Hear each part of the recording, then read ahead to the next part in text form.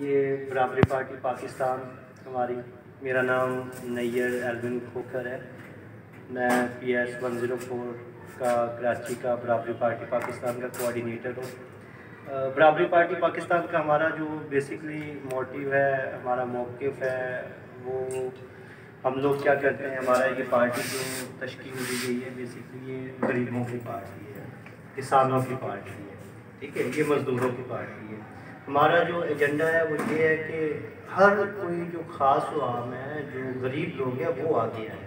ना कि अमीर लोग हैं। देखिए उन्नीस सौ सैंतालीस से जब से पाकिस्तान बना है तो पाकिस्तान बनने के बाद क्या है कि आ, ये जो हुक्मरान तबका है जो सरमायादारी निज़ाम है इन्होंने क्या किया है कि जो अमीर है उन्होंने अपनी प्रॉपर्टियाँ बनाई। ठीक है? जो अमीर है वो अमीर से अमीर होते गए। और जो गरीब है वो गरीब से गरीब तर होते गए अब देखें अमीरों के आप देखें, जो बच्चे हैं, वो बंगलों के मालिक बन गए। ठीक है हिस्ट्री की मैं बात बता रहा हूँ। अमीरों के जो बच्चे हैं, वो बंगलों के मालिक बन गए। उनके, अमीरों के जो जानवर हैं, जो घोड़े हैं, वो भी सेबों के मुरबे खाने वाले सेबों के मुरबे खाते रहे। अमीर का बच्चा अमीर तर होता गया, गरीब का बच्चा गरीब तर होता गया।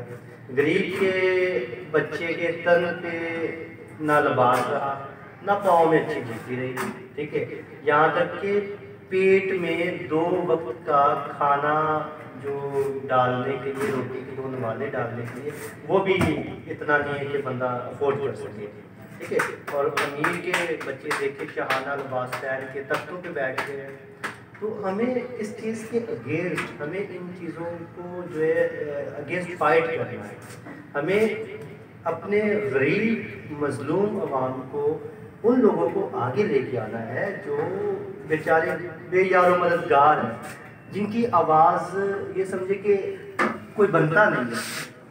जिनकी आवाज़ जो है, खलक से निकलने से पहले दबा दी जाती है। बराबरी पार्टी, पाकिस्तान, उन गरीब लोगों की आवाज़ बनेगी। और बन रही है।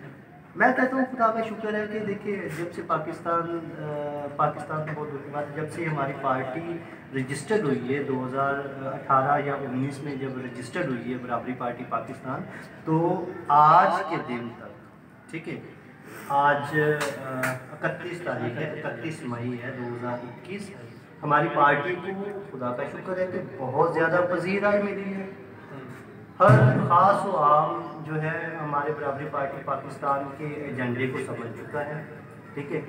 हमारे जो बराबरी पार्टी पाकिस्तान के चेयरमैन हैं, ये जवाद अहमद साहब हैं, ठीक है? देखिए, इनके दिल में जो गरीबों के लिए दर्द है ना, वो ये समझ सकते हैं या फिर हमारे गरीब आवाम समझ सकते हैं। ठीक है? आज तक कितनी हुकूमतें आई हैं? मैं किसी हुकूमत का नाम नहीं लूँगा, लेकिन जितनी हुकूमतें आई हैं, सब करप्ट हुकूमतें आई हैं। सबने करप्शन की है। सबने अपनी बैंक बरो तहरीक चलाई। ठीक है? हर किसी ने अपनी बैंक बरी तहरीक चलाई कि आओ, मुल्क में वजारत की सीट पे आओ। ठीक है? खुद भी खाओ, अपने बच्चों को भी खिलाओ तयाशी करो रहो पाकिस्तान में, वजारत पाकिस्तान की आप लोग, वजीरों सफीरों की सीटें आप, पाकिस्तान की लोग, ठीक है, प्रॉपर्टियाँ, और अकाउंट जो है वो स्विस बैंक में बैठो, जाके इंग्लैंड में जाके बैठो, यूरोप में बैठो, वहाँ फ्लैट लो, प्रॉपर्टियाँ लो तो ये सारी चीज़ें जो है ये करप्शन है।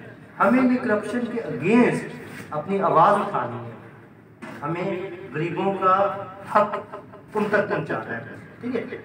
जवाद साहब है हमारे। ये इनका, माशाल्लाह खुद बहुत अच्छे तबके से, बहुत अच्छी फैमिली से इनका ताल्लुक है। पाकिस्तान की फ़ेमस पर्सनैलिटी हैं। ना सिर्फ़ पाकिस्तान की दुनिया जानती है जवाद साहब को। ठीक है? जो दर्द इनके दिल में गरीब आवाम के लिए ठीक है?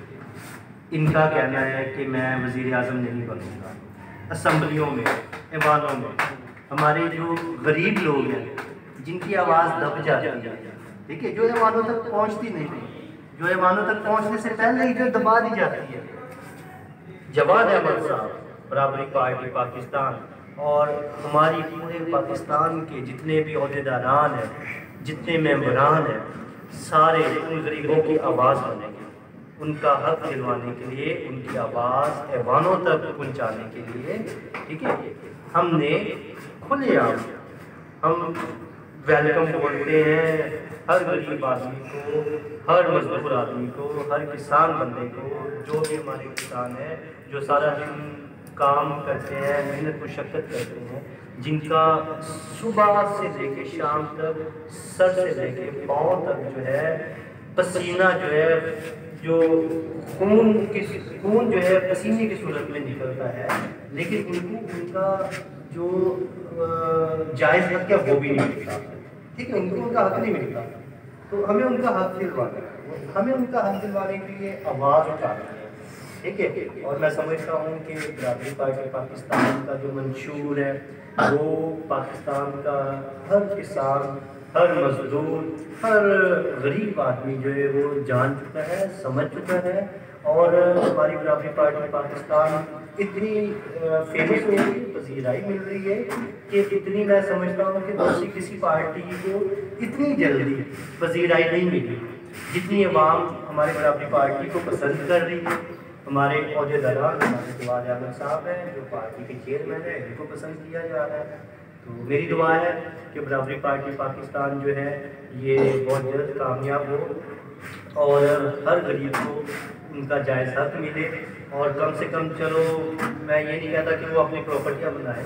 कम से कम उनको दो वक्त की रोटी तो सही से मिल सके। अपने बच्चों की एजुकेशन उनके कपड़े, उनके पहनने की ज़रूरतें उनकी सही हॉस्पिटल में जो उनका मेडिकल सहूलियात है, ये सारी चीज़ें उनको मिल सकें। और दूसरी बात ये कि इनको जो है, कम से कम जो डेली वेज है उनकी उनकी जो दिहाड़ी है तो उनको अब समझिए कि सात सौ, साढ़े सात सौ या महीने की साढ़े सत्रह हज़ार तनख्वाह बनती है, कम से कम पचास हज़ार तो तनख्वाह हो उनकी, ताकि वो अपने फैमिली की, अपने ख़ानदान की अच्छे से कफालत कर सके।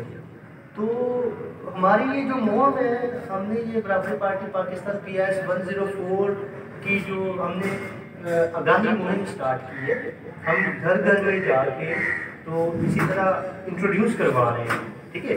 ताकि हमारे गरीब लोगों तक अगर कोई रिसोर्सेज नहीं है, किसी के पास टेलीविज़न नहीं है किसी के पास मोबाइल फ़ोन नहीं है, किसी के पास रेडियो या कुछ और ऐसे रिसोर्सेज नहीं है न्यूज़पेपर नहीं है। तो देखिए, हम न्यूज़पेपर बने, हम टेलीविज़न बने, हम रेडियो बने, हम मोबाइल फ़ोन बने। हम ये नहीं बोलते कि हमारे पास है, हम खुद आप लोगों के पास जाते हैं, क्योंकि हमने गरीबों के हक के लिए आवाज़ उठाई है और हम गरीबों के लिए लड़ेंगे फाइट करेंगे, ना सिर्फ़ घरों में जाके, बल्कि करप्ट हुकूमत के अगेंस्ट एवानों में हम आवाज़ उठाएँगे। ठीक है? आप सबकी आमद का शुक्रिया।